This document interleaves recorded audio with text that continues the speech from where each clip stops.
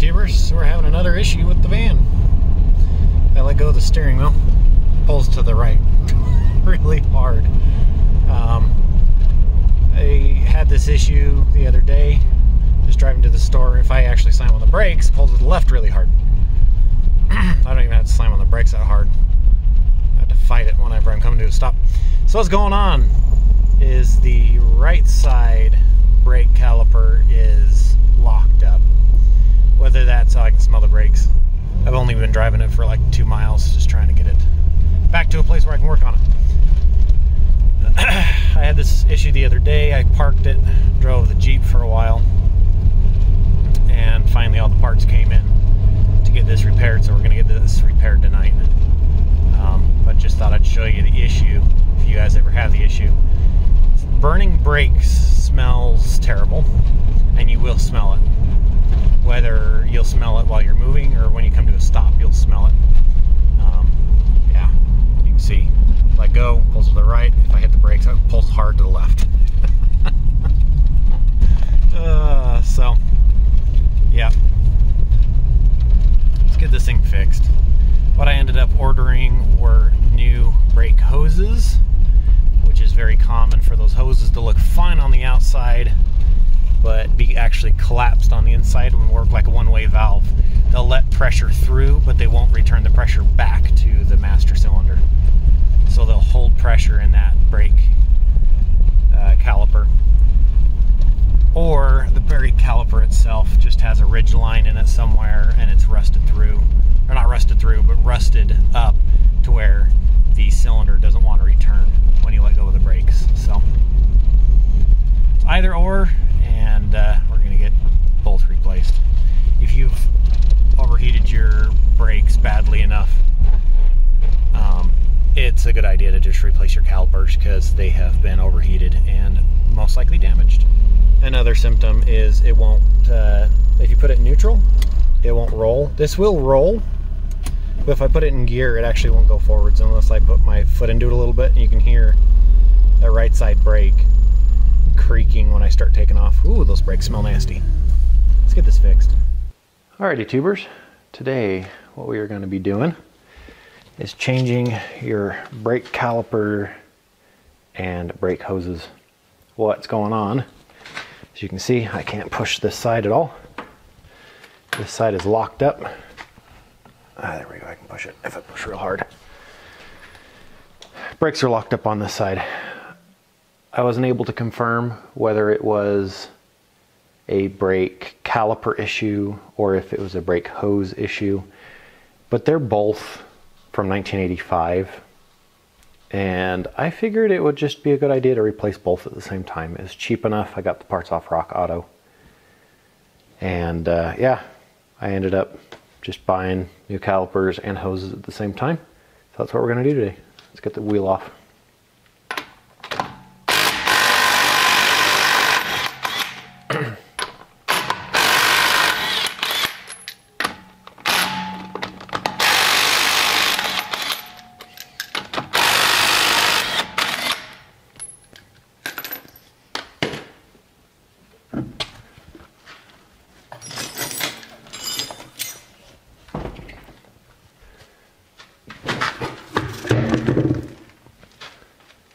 Got that wheel off. I didn't drive it very long with it locked up and it looks like it hasn't done any damage or glazing to the brake rotor. And the shoes, rather the pads, look like they're still okay. So we're gonna go ahead and just start to disassemble here. And I use a 12 millimeter on the bottom side bolt on the caliper to swing it up and out of the way to get the pads out of it.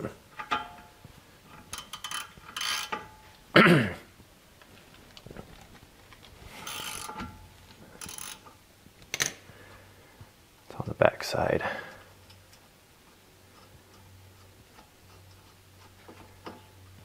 Actually, give me one second. I'll see if I can get a good shot for you guys of where that is. All right, so we're the back side here. It's a size 12 millimeter. This guy right here, you pull this guy out, and this whole caliper will actually slide up and away. All right. So that usually slides just up and out of the way easily. But since this caliper is frozen in place, I'm going to use a pry bar. Just like that. Remove these shoes.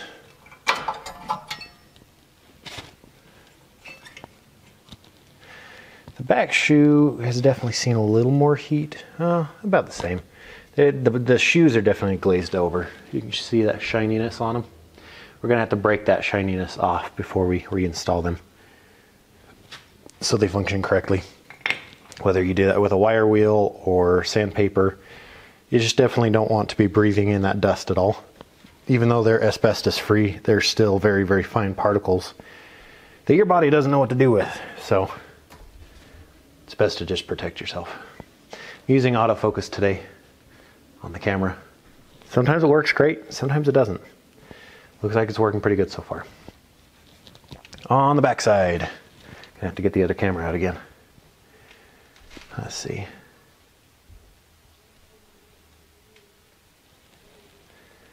Okay, on the back side back here, you can see one of them right there. There are nuts. There's three of them that you got to remove. There's one on the front side over here that has a cotter pin through it. That is the only one that you don't need to remove. That one doesn't get removed. This one, that one, and the one below.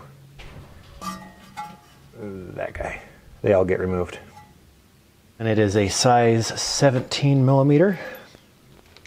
I some of them they're really tight and you have to use a ratchet. Well, all of them I had to use ended up having to use a ratchet on, but trying to get enough. Yeah, there go the autofocus. Heavy focus here. I'm going to lock that out since we're really not moving that much. I'm going to put a wrench on the end of my ratchet just to get that extra uh, extra leverage. Comes the first one. I'm go ahead and loosen up the others. So I've got this one. I'm working on this one now. i do the same thing. If you got a little cheater bar or something to put on there. Handle to a bottle jack works rather well. An older bottle jack anyways. The new bottle jacks seem like they've got really thin handles. Like most other things and then that last one. And notice I'm using the ratchet all out the same side. Getting these all to break loose.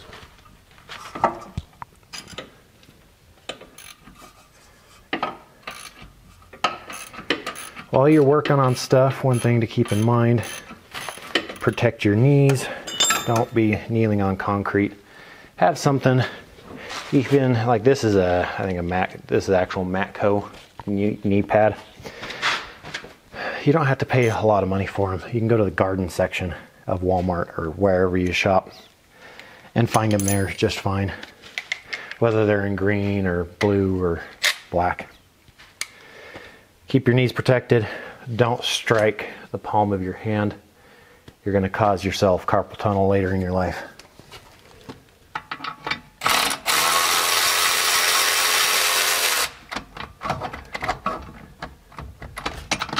using an electric ratchet to get the rest of these out.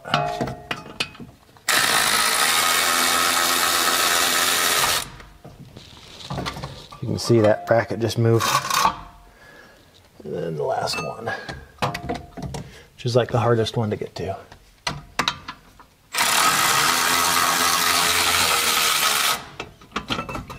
And that one doesn't like to let go of the electric ratchet, so I usually just leave it there or struggle with it to get it off. I'm Gonna put this guy up out of the way. Again, that is a 17 millimeter.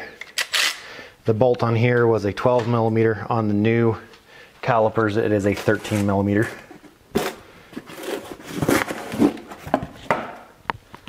Hopefully you guys can see all right. Whoop. Sorry about that. One of the next purchases I make for this camera is a wide angle.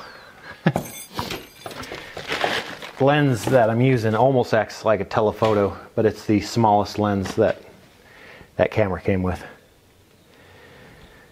All right, so we've got this guy off.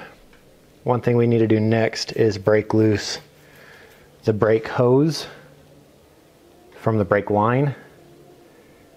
And then we just continue on until we get everything undone.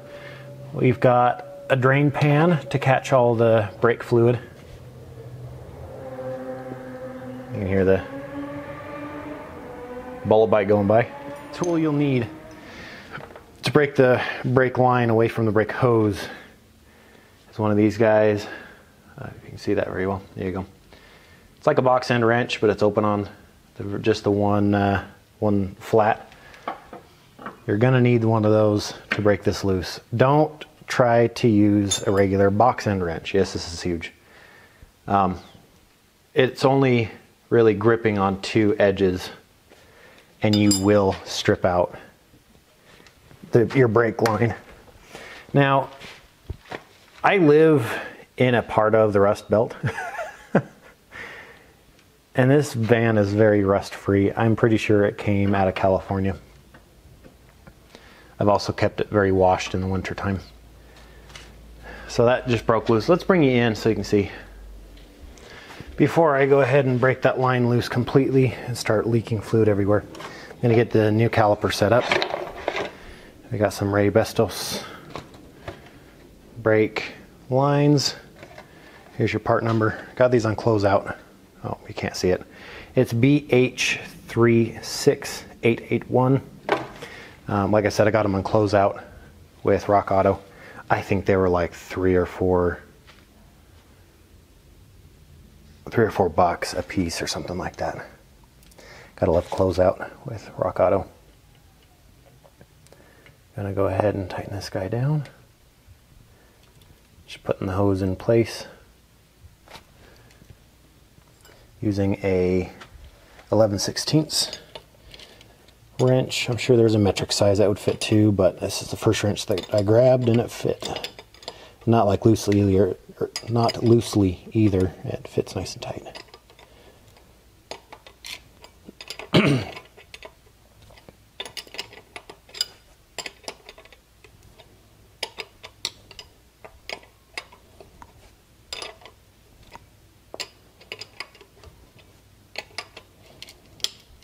All right, so that's snugged. I'm gonna tighten it down. I'm gonna tighten it, but not destroy threads.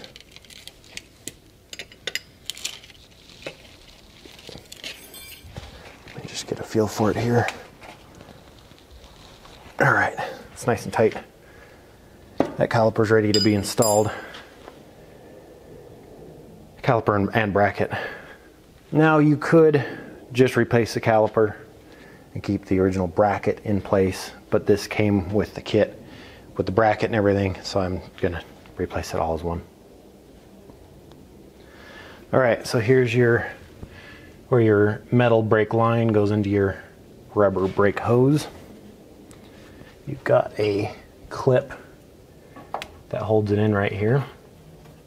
Usually just grab it with a pair of needle nose, slide it back and forth until it's part the way out.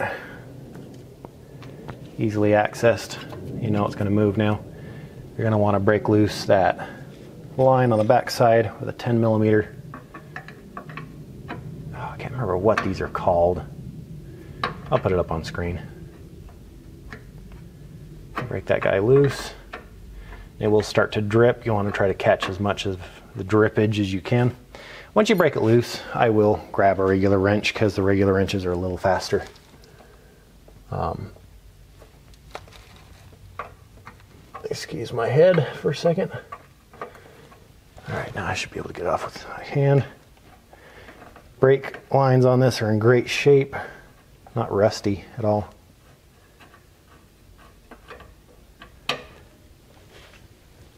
All right, where are my paper towels? This is about the time that you want to find your paper towels. Next step Break this guy completely free.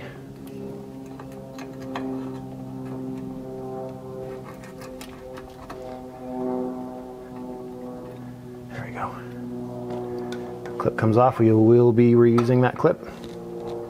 This guy comes off now.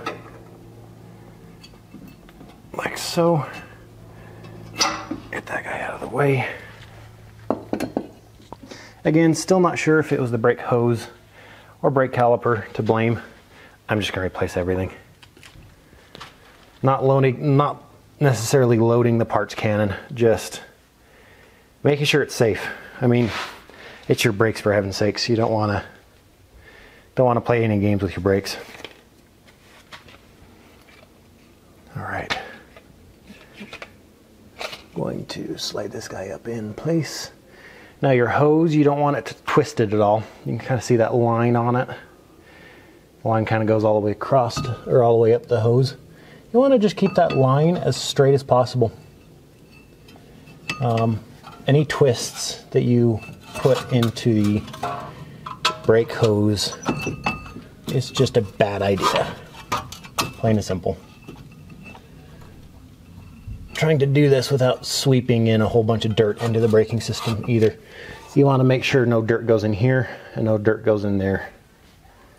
You can see both of those. Yep, you can. Sorry if it's a little out of focus. I currently have the focus locked.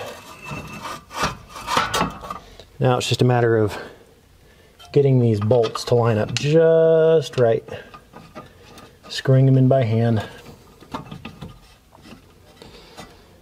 top two bolts are the same. The bottom one is longer on both sides. Now I am doing this job on both sides. I've already done it on the driver's side. We are currently doing the passenger side, where the issue actually was. Again, just preventative maintenance, stopping it from happening on the opposite side. Trying to catch all that brake fluid that we can.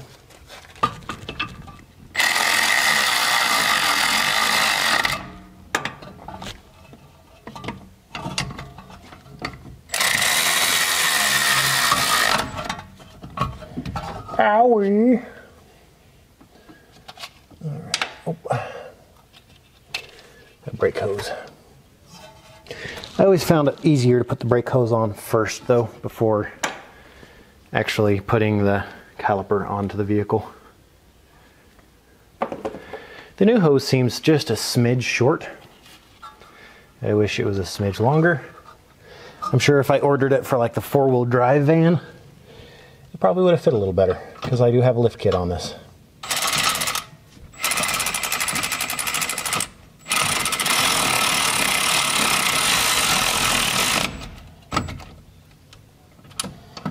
All right, now we're gonna wanna go through, as it's dripping, we wanna hurry as quickly as possible. Because if you let it drip all out, it will run your reservoir dry.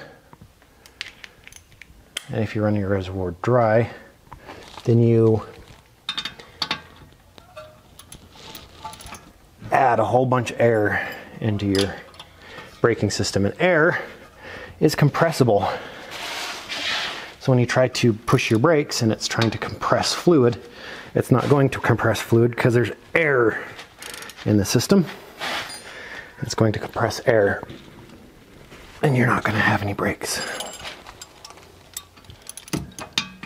Same way I loosened them, putting something on for some leverage, really tightening these guys down.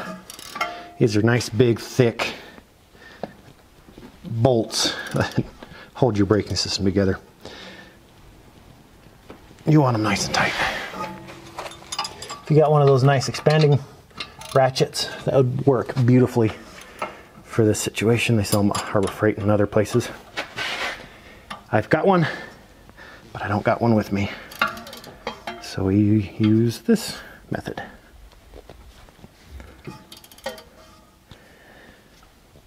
All right, all three of those are tight.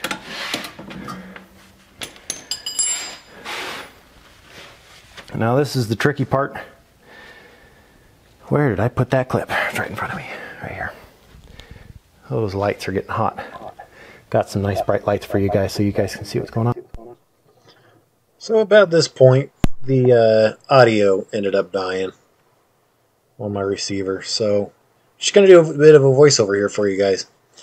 So what I'm trying to do here is trying to get that hose stretched up into place, trying to get that into the bracket, trying to get that uh, seated firmly in that bracket so we can get that clip on the backside. And really struggling with it. That hose is just a smidge short. I think they're stock size. The old ones are probably just stretched out. Still really couldn't get it, so I ended up grabbing a pair of vice grips. Um, and that those pair of vice grips not terribly tight on the metal part, uh, but that was the trick. Pulling it up, twisting it back and forth until it kind of locked into place. I was able to slide that pin into place, and it worked out quite well. So, as you can see, I'm still dripping lots of fluid and uh, using a pry bar as a hammer. um, now trying to get that brake line threaded into the backside. You definitely want to do it by hand, thread it all the way down by hand. If you use tools to thread it in, you'll most likely cross thread it. It's incredibly easy to do these fittings. on the camera died. Got it charging now though. I think it's charging. Anyways, gonna go ahead. So I got that guy put on. This guy threaded on way too easy. The other side took like five, ten minutes to thread on. And there goes my audio again. So, like I was saying, the other side took quite a while to get threaded in by finger because I didn't want to cross thread it. It really tried to cross thread on the opposite side, but um, also right there, it looked like I was tightening it down really, really tight, but I promise I'm not. Always looks like it on camera though. Just looking at some instructions here. Read them out to you. Um, but yeah, that's all put together. Next step is going to be bleeding out the brake caliper. All right, I keep losing my audio, but we're just going to use the audio from the camera now. It's not going to sound quite as good, but at least we'll be able to hear it. I'm going to have to dub over a lot of this video. So what we're going to do, just take a wire brush and break off this glazing. You can see I've already done a little bit of it right there. Just going to do it like this. And I'll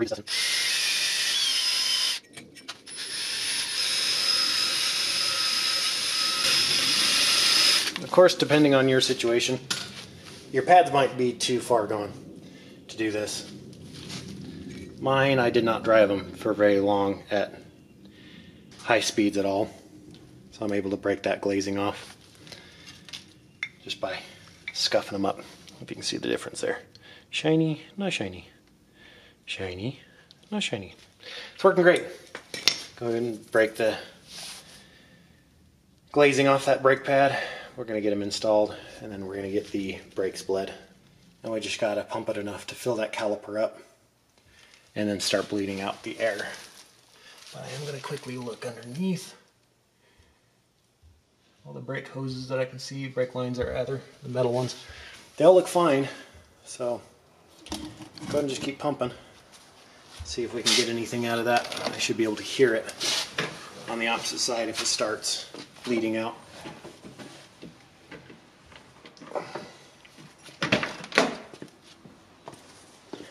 All right, so what I was talking about there for just a split second, I was having a bit of a hard time getting fluid up to that, or rather down to that brake caliper. So uh, went through, made sure everything was unplugged. I thought the leader may have had an issue. I blew through that, no issues.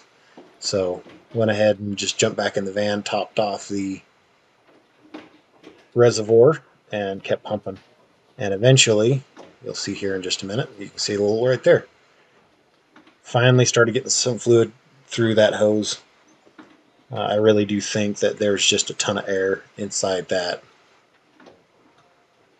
reservoir, or not the reservoir, but the uh, caliper. So Yep. Keep going, and we'll get this thing bled out and get it working again. There we go. Something just released.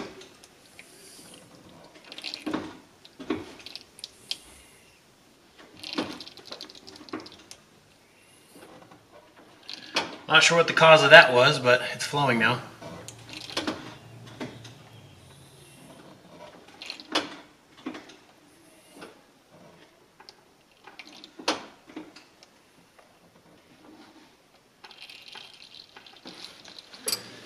So, I'm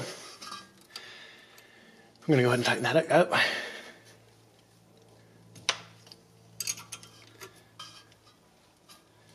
Snug it up. Now, a step that I like to do when I'm doing brakes, new, old, whatever, is to take some sort of lubricant, PB Blaster, I've got some super slick, slick stuff, and spray inside the nipple or the brake bleeder. You get all the brake fluid out of there, but you also leave behind some lubricant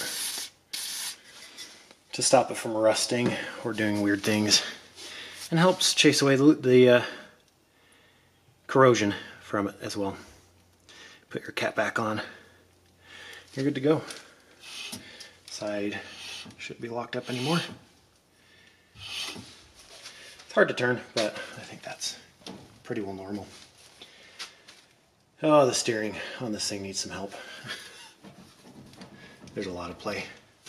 I know what it is too. I'm waiting for parts to come in. You gotta love it. Well, now all you gotta do is to mount your wheel back up again. Tighten these guys down.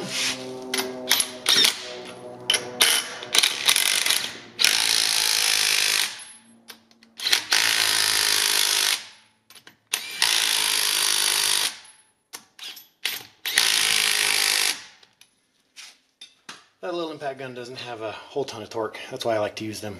And then go and hit them with a torque wrench. But I'm going to save you the uh, monotony of doing the torque wrench. So let's go ahead and get the rest of it all assembled and we'll go for a quick joyride. I mean, test drive.